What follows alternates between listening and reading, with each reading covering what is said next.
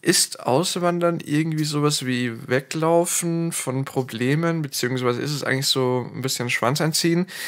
Ähm, ich habe jetzt mal einen Kommentar bekommen und ist jetzt auch gar nicht irgendwie so, ich glaube, der Titel würde wahrscheinlich so richtig konfrontativ klingen und so.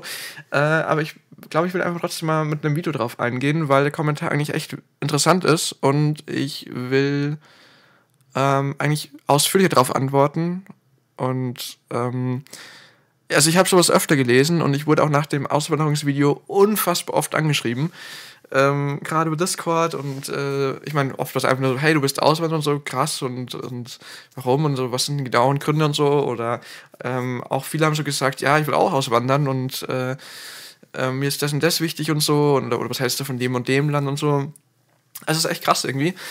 Und ich glaube, ich werde auch so diese Auswanderungsreihe noch ein bisschen fortführen, weil es gibt echt viel Nachfolge nach irgendwie. Also das Video kam, glaube ich, auch ziemlich gut an. Ich meine, es waren es kam an 196 auf. Ich dachte, es wären mehr gewesen, beziehungsweise es lief mal eine Zeit lang ziemlich gut und dann, also hier habe ich das, glaube ich, irgendwo geschaut und dachte mir so, ah, ja, geht das steil und so.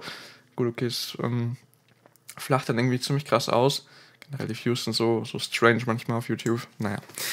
Also, ähm, Auswandern innerhalb, innerhalb Europas kannst du es, wenn du es aus politischen Gründen machst, glaube ich, das heißen, komplett nicken.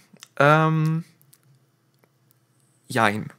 Also grundsätzlich, ja, geht schon so ein bisschen in die Richtung. Würde ich jetzt mal sagen, so ja, ist nicht komplett falsch. Also ich sehe es ein bisschen differenziert, ehrlich gesagt. Ähm, du kannst zum Beispiel, wenn du es das leisten kannst, in die Schweiz gehen und die politischen Gegebenheiten in der Schweiz sind halt viel besser.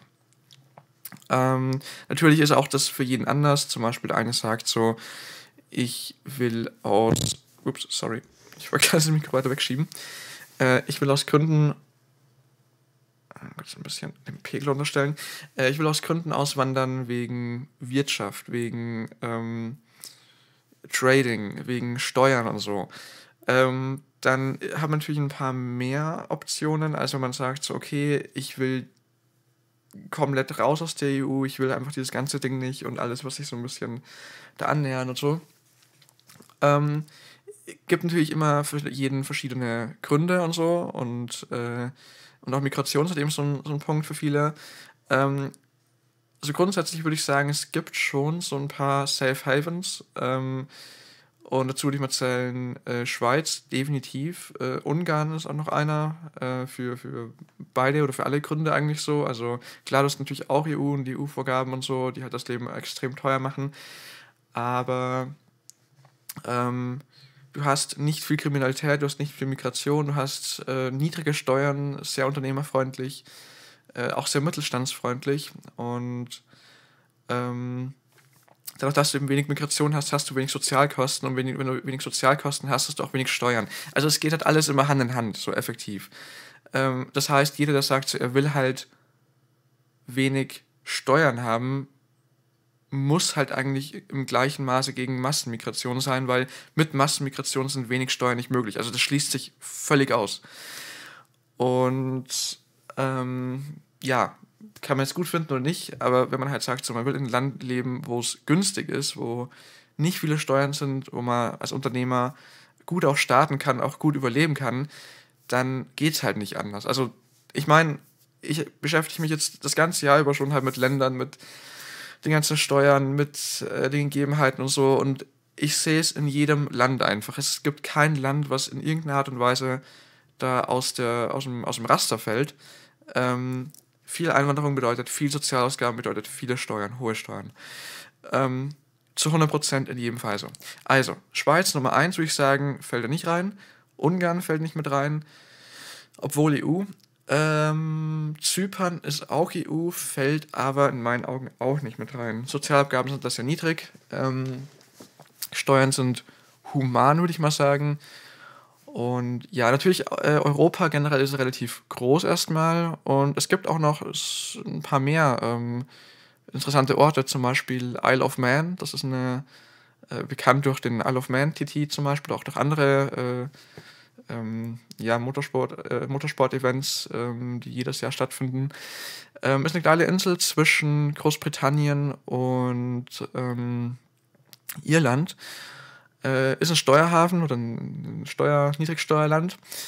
Ähm, und es ist tatsächlich ein Land, ein eigenständiges Land zählt das wirklich. Es ist kein, kein, kein Ding, kein, kein Großbritannien oder kein Teil von Großbritannien, sondern es ist im Prinzip eigentlich ein kleines Völkchen, welches sich so auf die Fahne geschrieben hab, hat, ähm, wir hassen Steuern.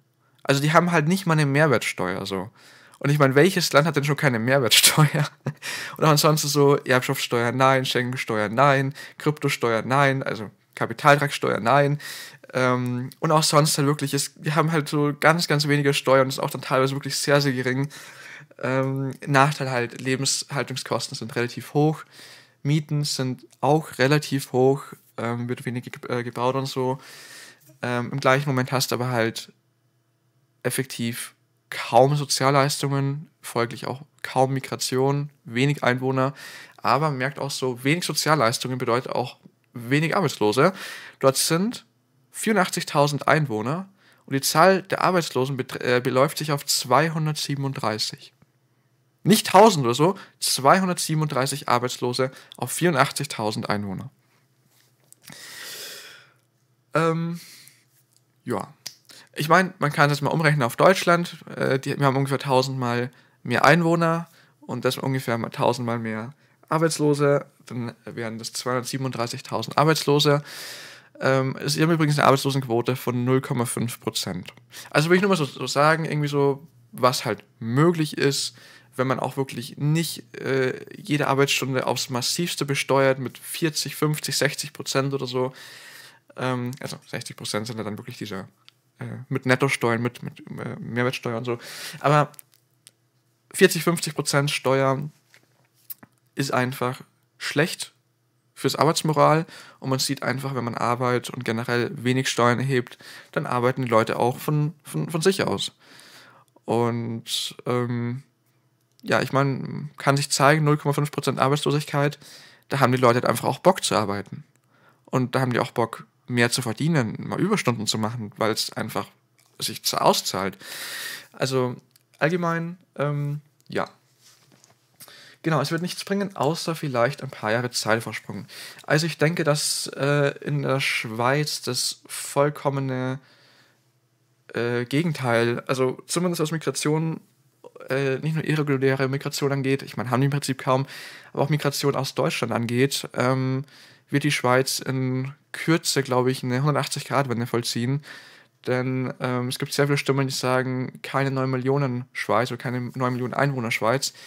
Ähm, ich meine, die Schweiz hat immer so ein paar Millionen Einwohner, mittlerweile haben sie fast 9 Millionen. Ähm, die werden halt bald zumachen. Die Schweiz wird das neue Monaco werden. Ähm, und wer jetzt halt noch die Chance hat auszuwandern, ich meine, das sollte sich natürlich sehr gut überleben, überlegen, weil die Schweiz ist halt ultra teuer. Das ist das teuerste Land in Europa oder vielleicht sogar das äh, teuerste der Welt. Ähm, muss man sich sehr gut überlegen. Aber ich finde auch, die Lebensqualität ist sehr guter. Die politische Lage ist ebenfalls, wie man es gut bezeichnen. Ähm, dazu muss man allerdings auch das Gesamtkonstrukt sehen. Ich meine, ähm, ich kenne auch Leute, die gehen nach Georgien, aber Georgien ist es halt so was Demokratie angeht, nicht gerade so auf dem höchsten Stand, auch was Meinungsfreiheit angeht und so. Und den Kompromiss, den du in der Schweiz angehst, zwischen all diesen Werten, zwischen Demokratie, äh, Meinungsfreiheit und so weiter, Unternehmerfreiheit, Steuern und so, macht es eigentlich für mich persönlich schon zu einem der besten Länder, die es gibt. Denn man kann nicht nur sagen, so, okay, dieser Aspekt ist so schlecht, also fällt es vollkommen raus. Man muss natürlich schon auch sehen, es gibt natürlich auch andere Aspekte. Ja, Philippinen und Argentinien weiß ich jetzt relativ wenig drüber. Ähm, ich weiß, dass sehr viele Flagspieler aus Philippinen kommen. Äh, Argentinien, ähm, ich meine, die haben jetzt einen interessanten Move vollzogen mit ihren neuen Präsidenten und so. Ähm, muss man mögen. Äh, und ich meine, das Ding ist natürlich auch, was man bedenken muss. Man geht selbst da rein und ist halt dann die Minderheit. Und ähm, ich meine, wer jetzt halt zum Beispiel äh, nach München geht oder nach, naja, sagen wir nach, boah, welche Stadt ist schlimm, Frankfurt, sagen wir zum Beispiel Frankfurt, und äh, du, du schaust dich um und sagst vielleicht so, oh, ich bin nur von Schwarzen umgeben, äh, äh, das, das gefällt mir nicht, und dann sagst du, okay, ich gehe jetzt nach Argentinien, ist jetzt, glaube ich, nicht so die schlauste Wahl dann. Also, wenn du halt so unter seinesgleichen sein willst, dann musst du halt irgendwie in den Norden gehen oder halt vielleicht noch in den Osten oder so. Aber ähm, nach Argentinien oder Philippinen, ich weiß nicht, ob das so arg Sinn macht und ob das dann wirklich auch tatsächlich ist, wo du dich wirklich wohlfühlst. Also ich habe mich auch mal so zum, äh, informiert ähm, zum Thema Mauritius, auch ein schöner Steuerhafen. Ähm, das Ding ist aber halt, du fühlst dich da halt wirklich fremd. Also komplett. Da hast du halt so, da ist halt jeder Zehnte, jeder Fünfzehnte vielleicht weiß. Und ich weiß nicht, ob man da halt zum Leben jetzt so, ob man es so will. Also, wie gesagt, muss jeder für sich entscheiden. Ähm, zudem ist es extrem problematisch, wenn die letzten guten Leute auch noch das Land verlassen. Ähm, ich weiß nicht, ob das jetzt ein, ob das jetzt ein Lob war.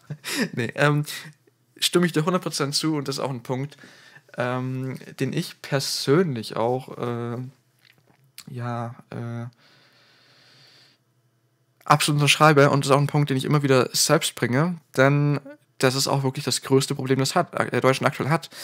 Ähm, die Auswanderer sind genauso problematisch wie die Einwanderer, denn die Leute, die auswandern, es sind nicht die Leute, die auswandern, die jetzt irgendwie,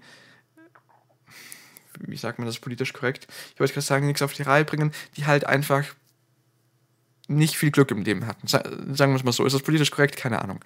Also die, die Bürgergeld beziehen oder Sozialhilfe beziehen, die wandern nicht aus. Es sind die Leute, die auswandern, die Fachkräfte sind, die ein mittelständisches, mittelständisches Unternehmen haben, die vielleicht ein Kleinunternehmen haben, die vielleicht sogar ein großes Unternehmen haben. Es sind die Leute, die das Geld haben, um auszuwandern, die dann auch tatsächlich auswandern. Und die Leute, die auswandern, haben natürlich dann auch eine konservative Haltung, die sagen, okay, wir wollen das Land voranbringen. Wir wollen keinen Sozialismus, wir wollen keinen Kommunismus, wir wollen keine Planwirtschaft, wir wollen kein Habeck und so weiter.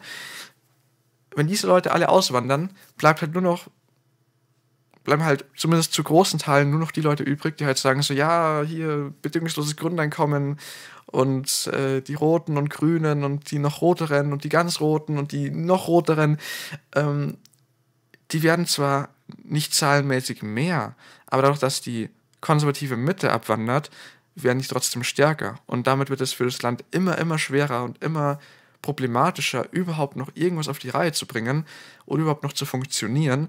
Denn einerseits hast du immer weniger Geld im Land, immer weniger Arbeitskraft im Land, immer weniger Produktivität im Land. Und andererseits ähm, sind die letzten paar, die noch da sind, müssen sich dann mit irgendwelchen sozialistischen Planspielen rumschlagen, weil die Anzahl der, ja, der, der Linken einfach immer mehr, also die, die, die Gewichtung Linken wird einfach immer mehr und die haben einfach immer mehr Oberwasser und haben immer mehr zu sagen. Und ja, es ist ein Recipe for Disaster, das sehe ich eigentlich ganz genauso. Ähm, dann braucht sich niemand mehr wundern, wenn, äh, äh, was schreibt ihr hier, wenn es dann richtig die Machrunde geht mit dem Land. Dem stimme ich vollkommen zu. Und das sieht auch die Jugend momentan so, weshalb sie nicht mehr grün wählt, sondern sagt so, okay, fuck, ähm, wir müssen hier leben, haben wir gar nicht so äh, äh, bedacht und so. Und dann sagt sie, ja, okay, dann wählen wir halt einfach AfD, damit die halt irgendwas anders machen.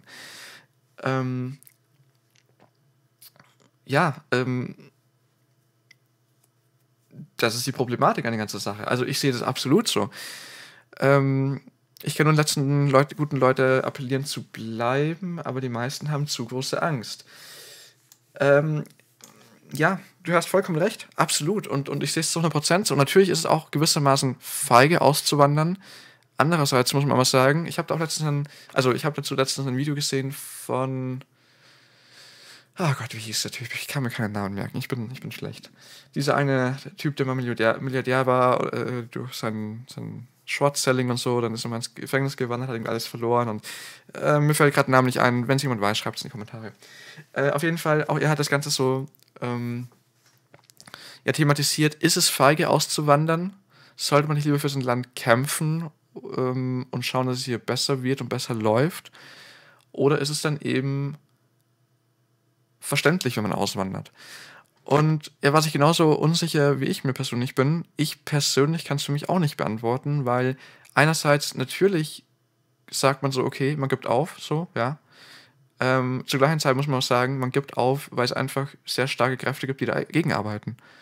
Und die hocken halt zum Teil in der EU, dagegen kannst du nichts machen, da bist du vollkommen machtlos. Ähm, ich meine, diese Leute sind halt zum großen Teil nicht mal gewählt, auch was irgendwie äh, äh, WEF und so anbelangt. So, du kannst nichts dagegen tun.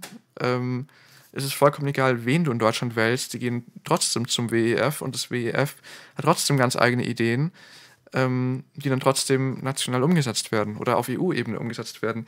Also das ist halt einfach diese supranationale, ähm, supranationale äh, Problematik. Und da sind eben halt gerade die Entwicklung, äh, die, die, die Industrieländer äh, leider ganz oben mit dabei. Das heißt, wie viel kannst du halt tatsächlich ändern? Wie, was kannst du wirklich anders machen? Was kannst du wirklich tun, um es zu verändern? Wir hatten auch den UN-Migrationspakt. So, wie schon damals befürchtet, kam fast alles genauso, wie die Kritiker damals ähm, befürchtet haben. Ja, wir, wir, haben, wir hatten, wir hatten 2022 natürlich auch mit Ukraine und Co. Wir hatten zweieinhalb Millionen Einwanderer. 2023 hatten wir 1,7 Millionen Einwanderer. Es ist verrückt. Also der UN-Migrationspakt hat sich genauso entfaltet, wie viele ähm, ja, befürchtet haben. Und du kannst nichts dagegen tun. Wir können effektiv nichts dagegen tun. Ähm, und die Steuern, die werden steigen. Sie werden steigen müssen. Ich meine, wie gesagt, wir haben, wir haben gerade dieses Thema durch die, die Steuern werden steigen und sie werden jedes Jahr steigen. Und da wird es auch kein, kein Zurück mehr geben. Die Steuern werden auch nicht mehr gesenkt werden. Jedes Jahr werden die Steuern erhöht werden. Äh, es gibt auch schon die ersten Forderungen nach höherer Mehrwertsteuer. Da werden ja teilweise äh, Zahlen genannt von 24 Prozent. Es ist verrückt. Dann die, äh, äh, die Vermögensteuer ab einer Million Euro. Unser Haus, wir haben es für 265.000 gekauft. Wir haben 252.000 investiert. Jetzt plötzlich ist der Verkehrswert von allen Häusern unserer Umgebung bei über einer Million. Vielleicht könnten wir unser Haus für 1,2 Millionen verkaufen. Ja, das heißt allerdings auch, wenn wir hier bleiben und eine, äh, 1% Vermögensteuer drauf zahlen müssten, ja, muss man sich auch mal nur überlegen, warum wir halt eben auch abhauen. Wenn wir 1% drauf zahlen müssen auf 1,2 Millionen, sind es 1000 Euro jeden Monat. Es ist genauso viel, als wenn wir einfach zum Mieter wohnen würden. Ein bisschen weniger vielleicht noch. Aktuell, die Mieten sind ja krank gestiegen. Aber das muss man sich auch mal überlegen. Und wer will diese Vermögensteuer? BSW will's, die Linken wollen's, die SPD will's und die Grünen wollen's. Vier Parteien, die im Bundestag vertreten sind oder zumindest vertreten sein werden, wollen eine Vermögensteuer.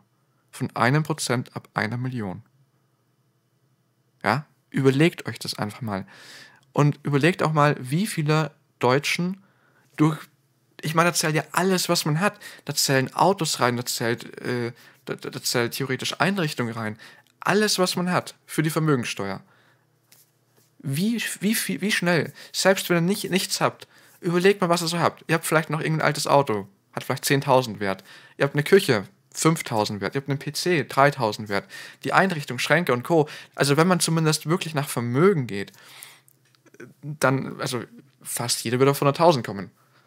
Ja, ihr könnt sein wie eine Kirchenmaus, aber ihr habt trotzdem wahrscheinlich, also mindestens eine fünfstellige, wahrscheinlich sogar eine sechsstellige, ähm, ähm, sechsstelligen Euro-Wert an, an, an Vermögen, der halt einfach irgendwie sich zusammensetzt.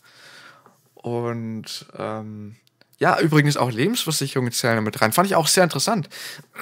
Ich meine, es gibt oft äh, Lebensversicherungen, die schließt man ab, 300, 400.000, zählt mit rein, ist plötzlich Vermögen.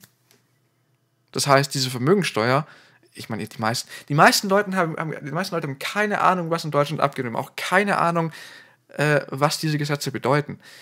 Weil kaum jemand liest die Dinger. Und wenn, wenn wirklich mal jeder lesen würde, was die hier planen, nächsten Montag, da wären so viele Leute auf der Straße. Holy fuck, die DDR, die wir, also der, der Zusammenbruch der DDR wäre nichts dagegen. Da wären Millionen auf der Straße. Ja, also allein wie viele Leute haben ein Haus, haben eine Lebensversicherung und noch irgendwie ein, zwei Autos. Ihr wärt sofort dabei. Jährlich 10.000 Euro. Würde euch der Staat abluchsen. Von wegen, äh, man will nur die Reichsten, Reichen besteuern und so. Bullshit. Also, es ist krank. Du kannst dich einfach nicht mehr leisten zu bleiben. Und 2027 will, soll die, äh, sollen die CO2-Zertifikate äh, im Preis extrem steigen. Ähm, bis zu 270 Euro sollen die haben, äh, kosten. Ähm, Benzin soll 91, 91 Cent teurer werden.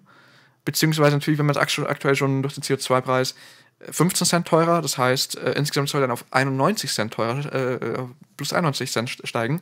Das heißt, wir hätten dann effektiv äh, Benzinkosten von 2,50 Euro pro Liter in gut zwei Jahren.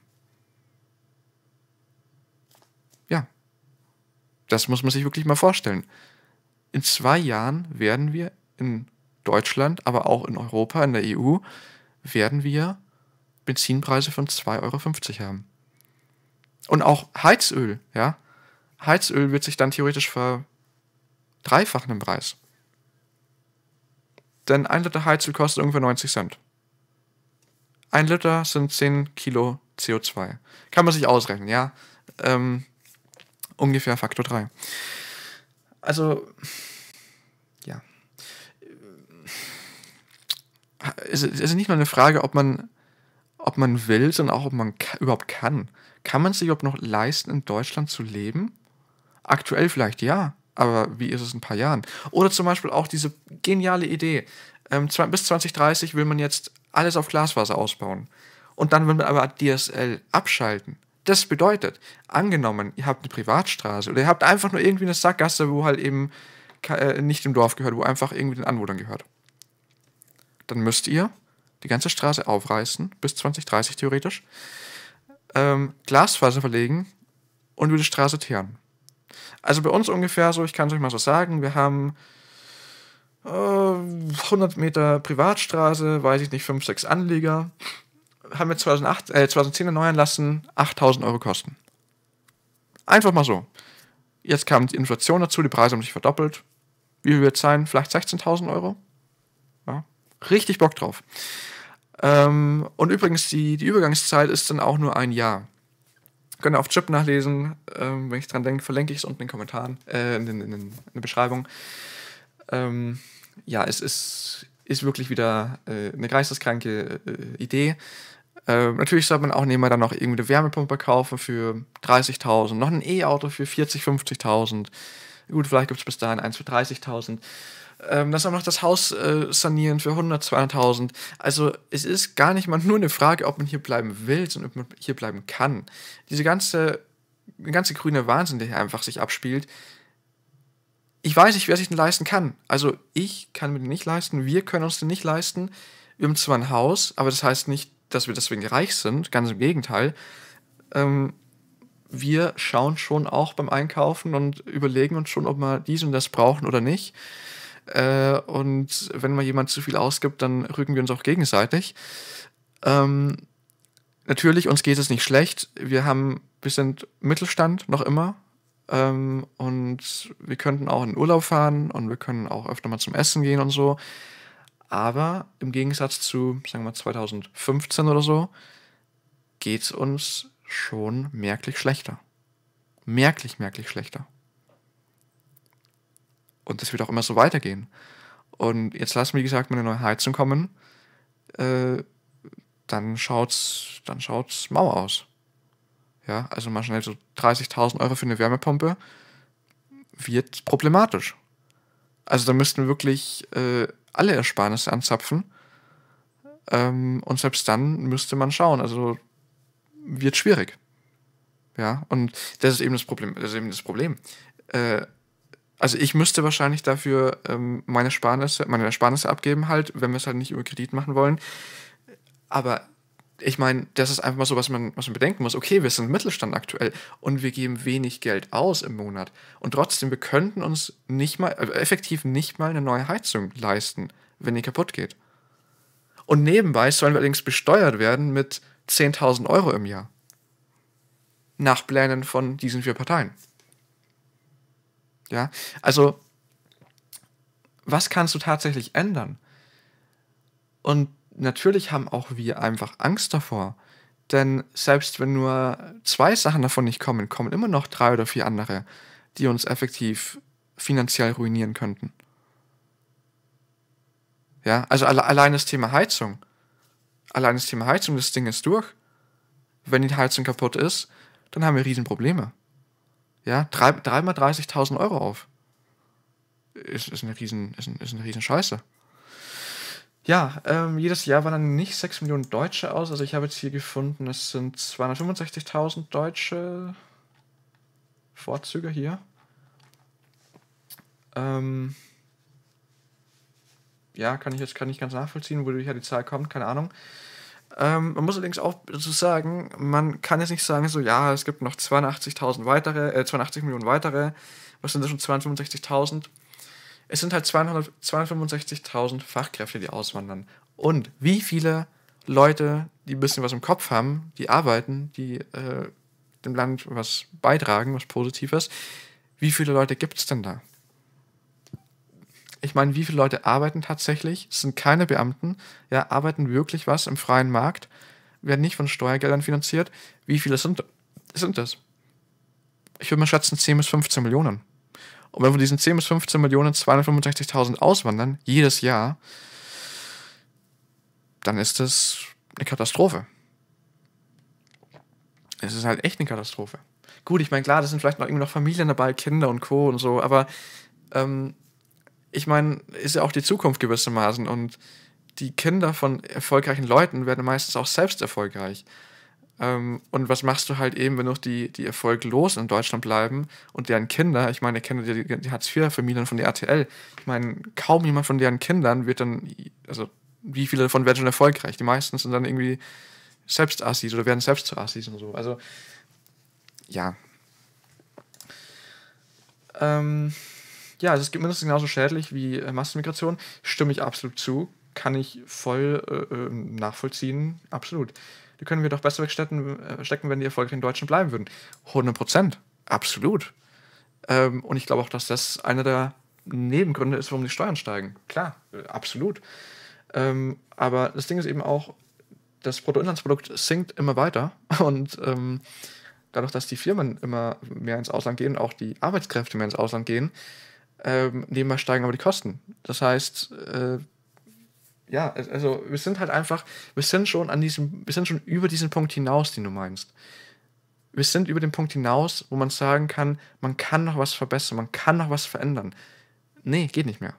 Das Ding ist, die Ampel hat jetzt in drei Jahren nicht nur jetzt also nicht nur, nicht nur jetzt so aktiv, sondern auch passiv für die nächsten Jahre dann 100.000, also bisher hat sie, glaube ich, hunderttausende Arbeitsstellen vernichtet. Allerdings auch das, was die Ampel verursacht hat, hat Millionen weitere Arbeitsstellen vernichtet, die nicht sofort wegfallen, aber die durch die Politik der Ampel innerhalb der nächsten Jahre wegfallen, auch für die nächste Regierung. Es werden halt Millionen Arbeitsstellen wegfallen. Ich meine, die Unternehmen sind jetzt schon, also ich glaube, ich habe mal gelesen, 75% der Unternehmen in Deutschland denken über das Auswandern nach. Und die werden sich darauf vorbereiten. Es dauert viel Zeit, die werden Zeit brauchen, aber sie werden weggehen aus Deutschland. Und die Rezession von aktuell 0, minus 0,1, also 0,1% Wirtschaftsschrumpfung, also quasi minus 0,1 Wirtschaftswachstum in Anführungsstrichen, ähm, ja, das ist das ist, das ist hier, um zu bleiben, effektiv. Äh, das, das wird nicht mehr anders werden. Also ich glaube nicht, dass es hier jetzt auf einmal einen, einen, einen 180 Grad Winter gibt und dann steigt, dann, dann wächst die deutsche Wirtschaft wieder um 2, 3 Prozent, wie es normal war. Das wird nicht mehr passieren. Also bevor wir 2, 3 Prozent Wirtschaftswachstum sehen, sehe ich eher, dass wir ein ganzes Prozent Wirtschaftsleistung verlieren. Und so muss man auch sagen, nur mal so aus prozentualer Sicht, wenn ihr 50 Prozent Verlust habt, müsste um 100% wieder wachsen. Ja, das, das, ist auch immer so was, wo man, wo man bedenken muss. Wenn wir, also, ja, wir sind auch schon 2, 3, 4 Prozent äh, geschrumpft, glaube ich, in den Corona-Jahren. Ähm, das heißt, es ist nicht so, dass ihr sagen könnt, okay, wir haben jetzt 2% Minus gemacht, jetzt haben wir 2% Plus, jetzt sind wir auf plus minus null. Nee, nee, so läuft das nicht. Also, ähm, so äh, muss man halt immer auch aus einer mathematischen Sicht dann so sehen, so, so einfach ist es nicht. Und ähm, das Ding ist einfach so, was jetzt kaputt gemacht wird, äh, industriell und wirtschaftlich, wird 10, 15, 20 Jahre dauern, um es wieder aufzubauen. Und es, ich finde es utopisch, jetzt zu sagen, oder zumindest zu glauben, wir könnten ja einfach alle hier bleiben, dann wird wieder in die Hände gespuckt und dann bauen wir das Land wieder auf. Das glaube ich nicht, dass äh, passieren wird. Ich glaube nicht mal, dass es möglich sein wird. Ich glaube, die Rezession wird sich fortsetzen. 0,2, 0,3, 0,5 Prozent werden wir nächstes Jahr wahrscheinlich sehen.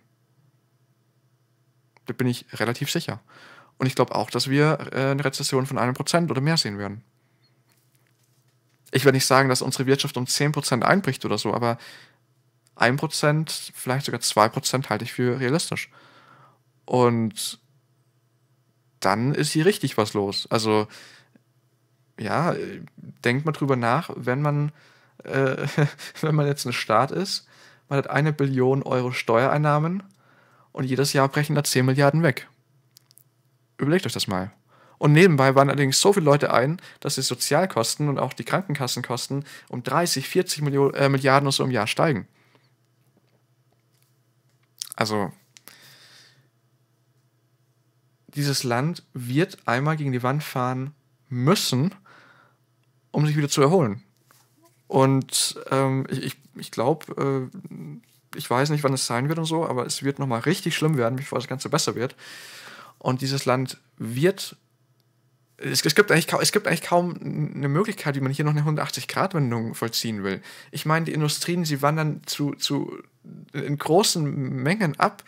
Die Arbeiter wandern in großen Mengen ab. So, was willst, wie willst du jetzt hier eine 180-Grad-Wendung schaffen? Das geht nicht. Ja? Und ich meine, dazu kommt einfach auch ganz simpel und einfach, du hast ein Leben. Du hast 80 Jahre zu leben. Willst du jetzt in einem Land leben, welches zehn Jahre mit Vorsatz zerstört wurde, nur damit es dem Land wieder besser geht, würdest du wirklich dein Leben dafür opfern, die nächsten 20, 30 Jahre in einem Verliererland zu leben? Also, ich nicht. Ich lebe gerne in Bayern und auch in Deutschland, absolut, ich liebe Bayern. Aber würde ich für dieses Land 20 Jahre meines Lebens geben? Würde ich 20 Jahre irgendwie mich versklaven, effektiven Lohnsklave sein, 50, 60, 70 Prozent Steuern zahlen, nur damit der Staat und die Wähler, die das selbst verursacht haben, ähm, dann wieder in einem guten Land leben. Ganz ehrlich, nee, die Mehrheit der Deutschen, 70 Prozent wählen Altparteien, 70 Prozent haben dafür gestimmt, 70 Prozent haben das begünstigt. Warum sollen sie nicht äh, das auch ausbaden? Also, das verstehe ich nicht. Ja, ich meine, Wer keine Altparteien wählt, der darf sich darüber aufregen. Aber wer Altparteien wählt und das Ganze verursacht hat, wer die CDU gewählt hat, die SPD, die Grünen vor allen Dingen, also, die dürfen es von mir aus gern ausbaden. Ist es vielleicht nicht die, die beliebteste Meinung und so, aber warum, sollte, warum sollten wir jetzt das sein, die von vornherein davor gewarnt haben, so, hey, die Grünen, die bauen nur Scheiße, die haben keine Ahnung von Wirtschaft, die, die fahren das ganze Land an die Wand. Ich meine, ich habe doch sogar ein Video gemacht, äh, äh, ein paar Monate vor der Wahl, und habe so gesagt, so, yo, das wollen die, das ist krank, wählt doch nicht diese Partei. Und die Leute wählen halt trotzdem diese Partei und die, und die, äh, die SPD. Also, natürlich, die FDPler, die wurden halt krass gefickt und ja, ähm, die können nichts dafür effektiv. Ich meine, eine, eine Regierung mit 100 Prozent, also mit, mit, mit äh, nur, nur mit FDP, wäre, glaube ich, äh, was ganz anderes geworden.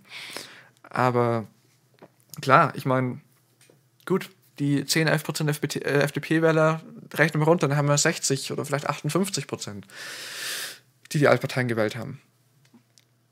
Aber effektiv ähm, ist es halt die Mehrheit und die Mehrheit wollte das. Und das Ding ist auch so, wenn ich mir die Wahlumfragen anschaue, ich sehe da keine Änderung. Ja, jetzt kam die BSW und die Leute denken sich so, mein Gott, eine neue Partei, die haben ja komplett frische Ideen, die haben ja voll Plan und so und die sind ja auch voll harmlos. Mensch, die wählen wir doch. Und dann liest das Programm nur und merkst so, oh, hm, ja, eigentlich wollen die nur Kommunismus, eigentlich wollen die nur Planwirtschaft, eigentlich wollen die nur Enteignungen, eigentlich sind die noch schlimmer als die Grünen. so. Und die Leute so, oh mein Gott, eine neue Partei. Jetzt haben wir ja, jetzt, jetzt machen wir alles anders, jetzt wird ja alles besser. Und effektiv hast du einfach dann DDRler in der Partei drin, äh, die immer noch die DDR feiern, die sich immer noch den Kommunismus wünschen und äh, sagen so, ja, die, die äh, Unternehmer sind unsere Feinde so. Nee, warum sollte ich hier bleiben? So, es macht doch gar keinen Sinn. Es macht überhaupt keinen Sinn, hier zu bleiben. Ich meine, denk doch mal drüber nach. Die nächste, die nächste Regierung. Ich meine, wir haben noch hier sogar, ich habe es irgendwie noch offen. So, hier das Thema.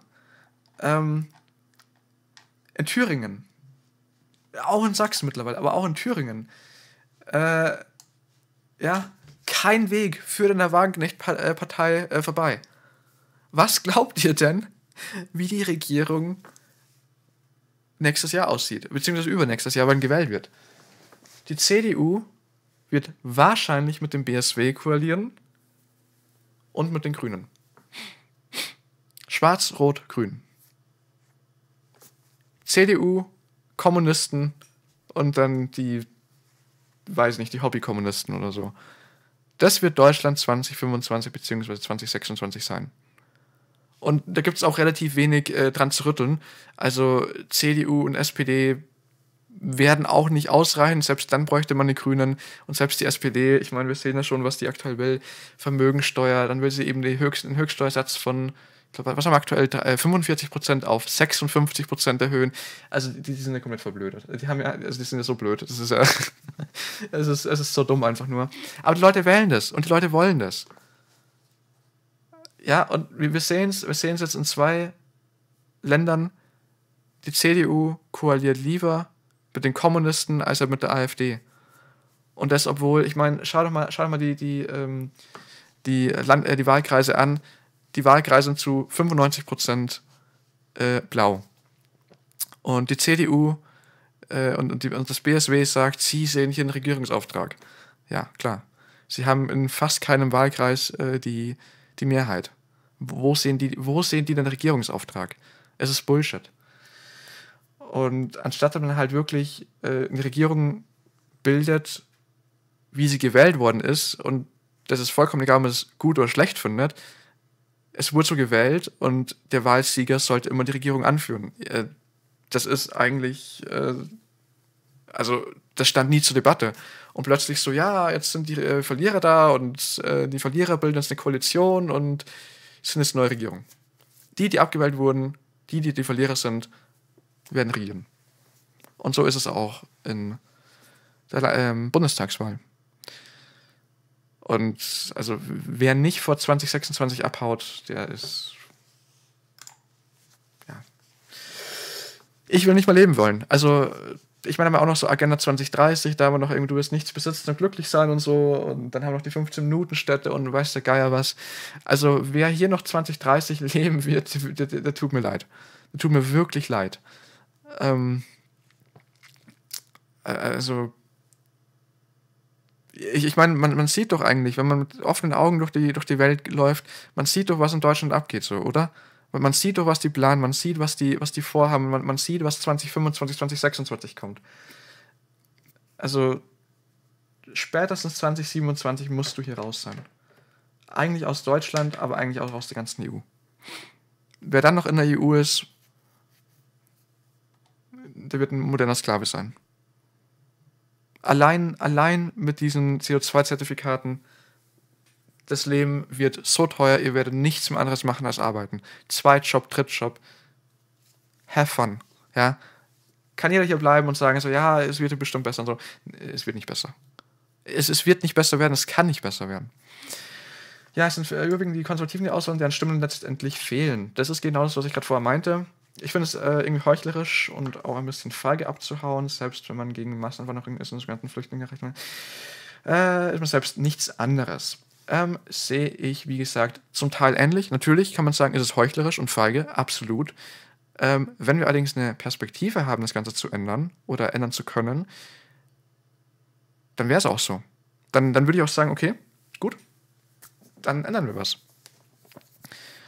Ähm, aber machen, ich meine, machen wir uns doch nichts vor. Was haben wir hier? Was ist hier? Ich glaube, Insa ist immer noch so der vertrauenswürdigste äh, Umfragepartner. Ich meine, was haben wir? Wird die CDU was ändern? Nein. Die CDU äh, hat sogar Pläne, ähm, 10% der Bankanlagen einzufrieren, also Merz will das, äh, und dann quasi als Zwangskredit an den Staat zu vergeben. Ich meine, denk mal so drüber nach. Merz, Ex-Banker bei BlackRock. Hm, er will Bankanlagen einfrieren, wodurch die Banken quasi einen Kredit an den Staat geben können. Wenn man eins und eins zusammenzählt, hm, ja. Also er spricht davon, Vermögen, die deutschen Vermögen zu mobilisieren. Es ist halt Enteignung wie bei den kommunistischen Parteien hier. Es ist nichts anderes als Enteignung. Wenn du nicht mehr über dein Geld verfügen kannst, ist es Enteignung. Ja gut, vielleicht reicht es für Schwarz-Rot. Aber was haben wir dann? Wir haben trotzdem 10% unserer Bankeinlagen wird eingefroren. 1% Vermögensteuer. Und die äh, allgemeinen Steuern werden wahrscheinlich steigen. Lohnsteuer wird steigen. Geil. Richtig, richtig geil. Ähm, wenn allerdings die SPD sagt so, nee, wir haben absolut keinen Bock mehr auf euch, dann haben wir 31,5%, 41,5% und mit 9% hier. Und das sehe ich momentan eigentlich als das wahrscheinlichste Szenario. Denn man muss auch sagen, die Grünen werden weiter verlieren und auch die SPD wird wahrscheinlich, gut, ist relativ stabil momentan, aber ich glaube nicht, dass diese Partei stabil bleibt. Also ich bin gespannt nach den, äh, auf die Umfragen nach diesen Steuerplänen. Ich glaube nicht, dass sie sonderlich positiv sein werden. Ich denke, 13, 14, äh, 12, 13 Prozent äh, werden die sehen. Und dass die CDU und SPD überhaupt nächste Wahl zusammen koalieren könnten, zu zweit, sehr unwahrscheinlich. Ähm, sobald halt, halt zu dritt zusammengehen, werden die Steuererhöhungen, Lohnsteuererhöhungen und Vermögensteuer und so eigentlich schon mit hoher Sicherheit ähm, kommen. Das, das ist sicher. Und wenn du halt mit den Kommunisten zusammengehst, äh, dann ist sowieso alles vorbei. Also dann ist alles vorbei. Und das Ding ist eben auch so, die, die BSW-Partei, die wird halt steigen. Ich denke halt, also ich schätze, 12, 13, 14 Prozent wird die wahrscheinlich erreichen, zu, äh, auf Kosten der SPD äh, und, ja, und, und, und, der Linken wahrscheinlich vielleicht noch ein bisschen, vielleicht auch äh, auf Kosten der Grünen. Äh, die BSW wird halt wahrscheinlich zur, früher oder später zur drittstärksten Partei eben äh, werden. Und ja, ich, ich vermute mal so, das BSW wird wahrscheinlich so den Platz der SPD einnehmen und die CDU und BSW werden wahrscheinlich öfter koalieren. Das sehe ich ähm, eigentlich schon kommen, gewissermaßen. Ja, ähm, allerdings finde ich das Ganze nicht wirklich. Äh, ich finde das nicht richtig, wie du es äh, schreibst, denn man selbst ist kein Wirtschaftsflüchtling, wenn man in ein anderes Land geht. Denn die Leute, die zu uns kommen, die haben keine Ausbildung, keine Sprachkenntnisse, äh, sind für die Wirtschaft absolut, in vielen Fällen zumindest absolut nutzlos. Sie kosten nur Geld. Nebenbei allerdings, wenn deutsche Fachkräfte auswandern, dann haben sie zum einen mal Deutsch als Sprache, welches in Europa relativ, welche in Europa relativ verbreitet ist. Dann haben die in der Regel Englischkenntnisse ziemlich gute, das heißt, sie können sich verständigen. Sie haben eine Ausbildung, sie haben einen Führerschein, sie haben ein Vermögen, sie haben praktische Erfahrung, sie bringen vielleicht eine ganze Firma mit. Es sind nicht die, es ist in keinem Zusammenhang irgendwie vergleichbar mit einem Wirtschaftsflüchtling. Äh, man könnte es vielleicht Steuerflüchtling nennen oder Politikflüchtling, aber Wirtschaftsflüchtling Flüchtling, äh, oder generell Flüchtling ist eigentlich falsch, weil in jedes Land, in das die Deutschen auswandern, die werden mit Kusshand genommen. Auch die Schweiz nimmt Deutsche mit guter Ausbildung mit Kusshand. Ja, Also, ähm,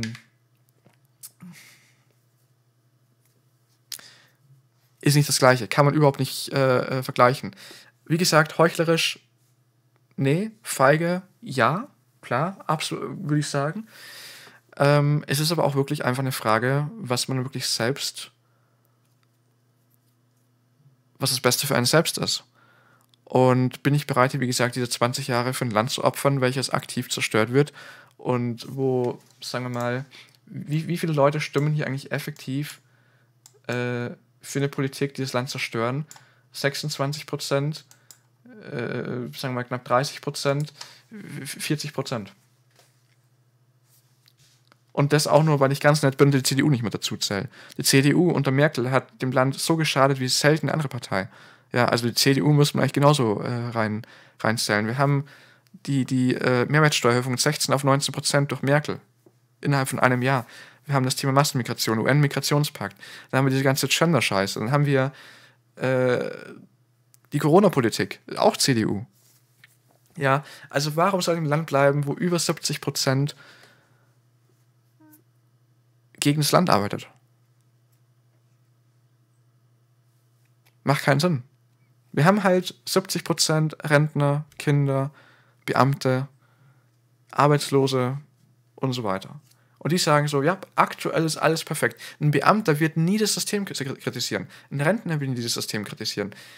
Äh, und auch die Jungen, die aus der Schule kommen und, und hören, wie geil aktuell alles ist. Und, und ja, Wirtschaftstransformation und wir sind ja hier irgendwie überall Nummer eins und äh, ich meine, schau mal an, wir haben weniger CO2-Ausstoß als diese ganzen anderen rückständigen Länder und so. Und die denken sich natürlich am Anfang auch so, boah, voll geil, Deutschland ist so voll krass und Grüne und beste Partei und so. Aber die, die hier wirklich halt jeden Tag, sorry, jeden Tag arbeiten gehen, die sehen das halt einfach anders. Und die, die sich was aufbauen wollen und die, die halt mit der Bürokratie zu tun haben, die sehen das anders. Aber diese 30 Prozent, die werden nie zu, zu 50 Prozent werden. Wird nicht passieren. Du wirst wahrscheinlich keinen Sinneswandel. Der Sinneswandel wird erst stattfinden, wenn das Land richtig gegen die Wand gefahren wurde. Wenn wirklich, ich sage jetzt mal ganz blöd äh, gesagt, äh, Häuser enteignet werden, die Leute auf die Straße gesetzt werden, äh, äh, vielleicht Flüchtlinge halt irgendwie in enteignete Häuser gesetzt werden, wenn, wenn solche Sachen kommen, dann, ja, dann langsam wird ein, ein um, äh, Umdenken stattfinden. Wenn äh, Bankguthaben enteignet werden, ja, wenn eine Vermögensteuer kommt, die effektiv 30, 40 Prozent der Deutschen zahlen, ja, dann, dann, dann wird ein Umdenken kommen. Dann wird sich was ändern vielleicht. Ja, wenn, wenn Leute wirklich erstmal mit einem, mit einem, mit einem Springerstiefel erstmal in den Arsch getreten bekommen, effektiv, um es jetzt mal so als, als äh, Analogie mal so ähm, darzustellen, dann wird sich was ändern. Aber vorher wird sich nichts ändern. Ja, in Japan hätte man äh, Netzwerke aufbauen müssen. Okay, Vergangenheitsform, stimme ich zu. Hätte müssen, ja. Aber ist nicht. Gibt's nicht mehr. Zu spät. Die Ampel hat das äh, Schicksal von Deutschland besiegelt und beziehungsweise die hat es fast besiegelt. Die nächste Wahl 2025, wenn, wenn in, der, in der Bundestagswahl 2025 kein, kein 180-Grad-Wende gewählt wird, dann ist das äh, Ganze besiegelt. Ja, sie, die nächste Regierung wird über 2030 hinaus äh, regieren. Und jeder kann nach, nachlesen, was die Agenda 2030 ist. Und nicht nur die, die positiven Teile, auch mal drüber nachdenken, was das Ganze bedeutet, wie man das Ganze erreicht. Die nächste Regierung wird genauso dumm, genauso äh, grün links äh, wie, die, wie, die, wie die Ampel werden. Und das sehe ich zumindest kommen. Vielleicht ändert sich was, vielleicht liege ich falsch. Ich hoffe, ich liege falsch. Ja, vielleicht äh, macht das Land nochmal wirklich eine, eine, eine Kehrtwende. Aber ich sehe es nicht. Ich glaube es nicht. Und die nächste Wahl besiegelt effektiv die Zukunft Deutschlands. Ja, das ist meine Meinung. Starke Netzwerke wären die Lösung gewesen, aber es sind ja fast alle guten Deutschen abgehauen. Aus reiner Angst, weil sie Pipi in der Hose haben von dem, was kommt und nicht kapieren, dass man von dem, was gar nicht flüchten kann. Ähm, kann man schon flüchten, doch. Kann man definitiv flüchten. Ähm, klar, ich meine, die Deutschen haben einfach Angst, äh, den Mund aufzumachen. War schon immer so. Da ist Abhauen einfacher. Das Ding ist halt allerdings, ähm, es bringt auch relativ wenig, den Mund aufzumachen. Ich meine, wir haben es beide zur Corona-Zeit gesehen. Ich habe es gesehen, du hast es gesehen. Und wir haben auch privat öfter mal geschrieben und wir haben es sehr aktiv gesehen. Es lag nicht daran, dass die Informationen nicht da waren. Es lag nicht daran, dass die Leaks nicht da waren. Ich meine, wir sehen es doch aktuell. Wir haben jetzt hier äh, die RKI-Leaks. Wie viele Deutsche interessieren sich dafür? Wie viele Deutsche sagen, boah, so eine Schweinerei, wir, wir, wir fordern jetzt eine Aufarbeitung, wir fordern den Rücktritt der Regierung. Wie viele Leute interessieren sich für diese Informationen? Es ist kein Problem der Information. Es ist ein. Das Problem liegt an, an ganz vielen anderen Stellen Ja. Ähm, die Netzwerke bringen ja nichts. Du hättest die auch nie überzeugen können. Hätte nichts gebracht. Also in, in meiner Meinung, in meiner äh, Sicht. Ich meine, nee, glaube ich einfach nicht. Also hätte nichts gebracht. Und natürlich, jetzt hast du halt einfach ähm, prozentual einfach immer mehr Leute, die halt äh, links wählen. Ähm, ich meine, man kann sich mal zusammenzählen. Sozialisten, SPD sind auch Sozialisten effektiv. Sind Sozis, ja. Was haben wir gesagt? 6, äh, 41, nee, was habe ich gesagt? 26, äh, 30, 40 Prozent. Knapp 40 Prozent. 39 Prozent etwa. 39 Prozent wählen links. Und, und dazu muss man auch sagen, von den sonstigen Parteien, nicht alle, aber selbst da hast du ganz viele Linke dabei. Da hast du auch nochmal 4% Linke oder so. Also 43% der Deutschen wählen links. Ja. Und ich meine, wenn man mal zurückgeht, ich, ich weiß nicht, ähm, ja, ist 2021, ja toll. Ich weiß nicht, gab es einen, einen Rechts- oder Linksdruck? Was, haben, was, was hatten wir hier? 40 Prozent, 45 Prozent effektiv so. Ja, 46, 47 Prozent. Ja, 46 Prozent. Äh, gab es halt wirklich einen, einen Rechtsruck? Ich weiß es nicht. Also ich, ich sehe es halt einfach nicht so. Haben wir irgendwo Umfragen, die wir ein bisschen weiter zurück? Hier zum Beispiel, genau. So, hier SPD, Grüne. Haben wir. äh, wir, wir runden. Ist Runden okay? Ich hoffe, Runden ist okay. Sagen wir mal 34 Prozent. 34 plus, plus 9. 45 Prozent. Ja, okay. Es war nicht direkt ein Linksruck, es war aber auch nicht direkt ein Rechtsruck, je nachdem, was eben sieht, welche Partei man eben jetzt äh, reinzählt. Keine Ahnung. Ähm, gut, Piraten ist auch noch eine linke Partei. Also effektiv, die Anzahl der linken Welle hat sich halt auch nicht wirklich verringert. Ähm, klar kann man sagen, wir hatten natürlich jetzt äh, das Thema hier mit AfD und so, klar, wurden halt mehr. Man muss auch dazu sagen, dass die, SPD, äh, die CDU heute halt nicht mehr CDU ist von damals. Das heißt, die CDU steht halt, steht halt Mann, ey. die CDU steht viel weiter links als damals. Das heißt, ist das jetzt wirklich ein Rechtsruck oder ist es halt einfach nur ein bisschen, ist es einfach eine Partei, wo sie jetzt einfach die sammeln, die halt vorher eine CDU äh, rechtere Positionen vertreten haben, dass die jetzt zur äh, AfD gewechselt sind. Ich meine, effektiv, das gleiche doch mit Linke und, und, und BSW. Ja, gibt es jetzt mehr linke Wähler oder haben die sich nur verteilt? Also, ich sehe das Ganze ein bisschen differenzierter ich meine, was würden halt, was würden halt die Leute wählen, wenn es, wenn es keine AfD gäbe? Ähm, gut, jetzt nachträglich wird es nicht mehr funktionieren, aber hätte es die AfD nie gegeben, dann wäre die CDU halt bei 50 Prozent jetzt. Und wird dann jemand sagen, so ja, voll der Rechtsruck? Nein. So, wisst ihr? Also, ich weiß es nicht. Ich sehe das Ganze halt nicht so wie die meisten anderen. Also, ich finde halt, dass dieses Thema mit dem Rechtsruck ist halt nicht wirklich haltbar. Jetzt gibt es eine Partei, wo sich halt die Leute gesammelt haben. Aber ich meine, die Leute sind nicht einfach irgendwie aus dem Nichts gespawnt. Es ist ja kein, kein, kein AfD-Wähler-Spawner da irgendwie, der mir im Haus steht und irgendwie alle fünf Jahre kommt einer rausgespawnt oder so. Ich meine, die Leute leben ja auch schon seit 20, 30, 50, 100 Jahren hier.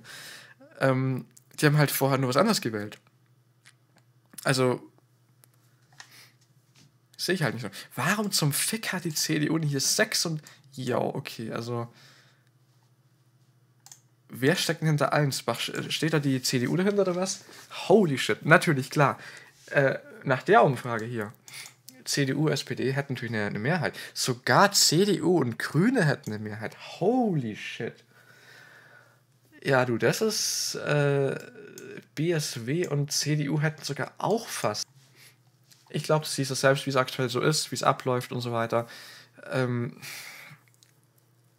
man kann Leute verantwortlich machen, die vor 15 Jahren gegangen sind, vielleicht vor 10 Jahren noch. Aber die Leute, die jetzt gehen, die gehen ja nicht mehr, weil, weil sie Angst haben, dass es schlecht wird, sondern weil sie schon sehen, dass es schlecht ist.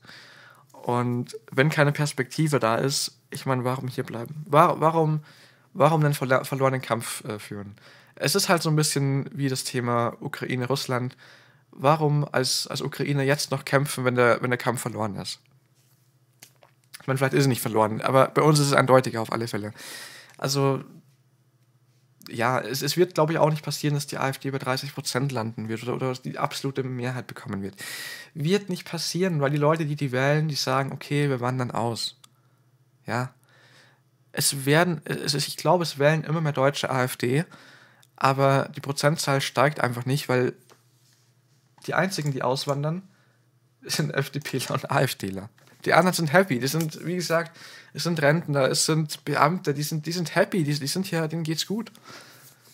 Ja, also die sind, die sind, oder denen geht's noch gut. Vielleicht sind sie auch im, im freien Markt äh, da, aber ähm, die werden halt erst anders wählen, wenn halt, wenn halt die Kurzarbeit kommt, wenn, wenn ihr Unternehmen zumacht, wenn ihr Unternehmen ins Ausland geht, ja, dann, dann werden die was anderes wählen. Aber dann ist es zu spät. Und die anderen, die gehen halt einfach ins Ausland. Simpel und einfach. Ja, FDP, ich, ich glaube nicht. Ich denke wirklich nicht, dass die FDP nur Stimmen verloren hat. Ich denke, dass, dass die Wähler Deutschland verlassen haben. So simpel ist es. Klar haben sie viele, haben sie viele äh, Stimmen verloren. Aber was denkt ihr, wie viel von diesen 11,5 Prozent sind wirklich zu anderen Parteien gewechselt?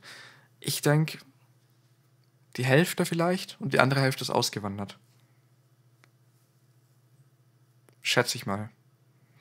Weil die Leute, die halt FDP wählen, sind halt wirklich die, die halt wirklich am krassesten darauf angewiesen sind, auf eine freie Marktwirtschaft. Würde ich mal zumindest behaupten. Ja. Naja, das auf alle Fälle mal dazu. Ähm, du kannst gerne mal auf das Video antworten. Bin sehr gespannt, was deine Meinung dazu ist. Und bis zum nächsten Mal.